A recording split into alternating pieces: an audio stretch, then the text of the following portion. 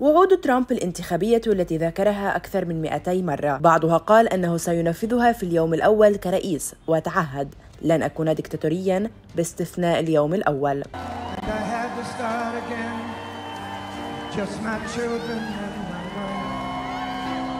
قدم الرئيس الأمريكي السابق والمرشح الجمهوري دونالد ترامب 41 وعدا يعتزم الوفاء بها في اليوم الأول كرئيس للولايات المتحدة الأمريكية في حال فوزه في الانتخابات الرئاسية، واعتمدت صحيفة واشنطن بوست قاعدة بيانات لخطب ترامب منذ إطلاق حملته في الخامس عشر من نوفمبر 2022 حتى العاشر من سبتمبر 2024 لتحدد قائمة وعود يقول ترامب أنه سيبدأ تنفيذها منذ يومه الأول كرئيس، وقد ذكر هذه الوعود أكثر من 200 مرة. مرة في حملته الانتخابية وفقا لتحليل الصحيفة لخطبه فما هي أبرز وعود ترامب الانتخابية؟ يركز ترامب في حملته الانتخابية على الخطاب المعادي للمهاجرين وقدم وعودا حازمة لليوم الأول تتعلق بهذا الموضوع أكثر من أي شيء آخر وفقا لتحليل الصحيفة يشير الوعدان اللذان يذكرهما في أغلب الأحيان بدء أكبر عملية ترحيل في التاريخ الأمريكي والقضاء على كل سياسة حدود مفتوحة لإدارة بايدن إلى حملة صارمة على الهجرة.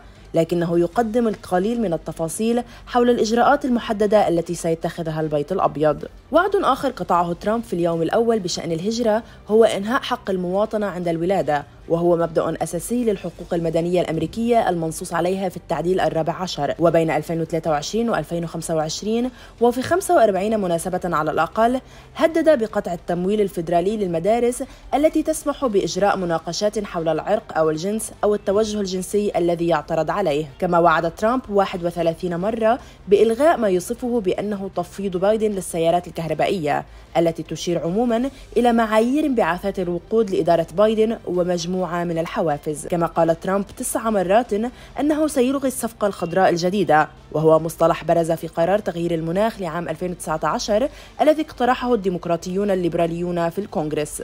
بالإضافة تعهد ترامب في اليوم الأول بسن سياسات من شأنها أن تؤثر على الحياة الشخصية للأمريكيين المتحولين جنسيا. ووعده الأكثر تكرارا على هذه الجبهة هو منع النساء المتحولات جنسيا من المشاركة في الرياضات النسائية وهي ملاحظة أدلى بها 18 مرة. كما اقترح فرض حظر وطني على جراحات تأكيد النوع الجنسي للقاصرين وهو ما يسميه تشويه الأعضاء التناسلية للأطفال. وتشير الصحيفة إلى أن مقترحات اليوم الأول الأخرى من ترامب تغطي مجموعة من المواضيع ويذكرها بشكل عابر في أغلب الأحيان في خطبه مثل تعهده بإلغاء ثلاثة من الأوامر التنفيذية لبايدن في يومه الأول. أحدها يتعلق بنمو الذكاء الاصطناعي والآخر يوسع عمليات التحقق من الخلفية لشراء الأسلحة. وآخر يعزز التنوع والإنصاف والشمول في القوى العاملة الفيدرالية.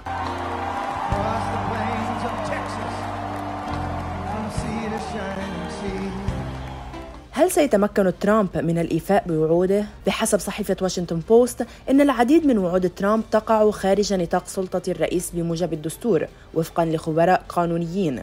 وحتى بعض تلك التي تقع ضمن اختصاصه ستواجه تحديات قانونية أو لوجستية من شأنها أن تجعل تنفيذها مستحيلا في جدول زمني قصير. لكن ترامب حاول تجاوز هذه القيود من قبل وقد يحاول مرة أخرى في فترة ولاية ثانية محتملة. وبعد الضغط عليه في أواخر العام الماضي للتعهد بعدم إساءة استخدام السلطة إذا عاد إلى البيت الأبيض قال ترامب أنه لن يكون ديكتاتوريا باستثناء اليوم الأول متعهدا بإغلاق الحدود الجنوبية وتوسيع عمليات التنقيب عن النفط.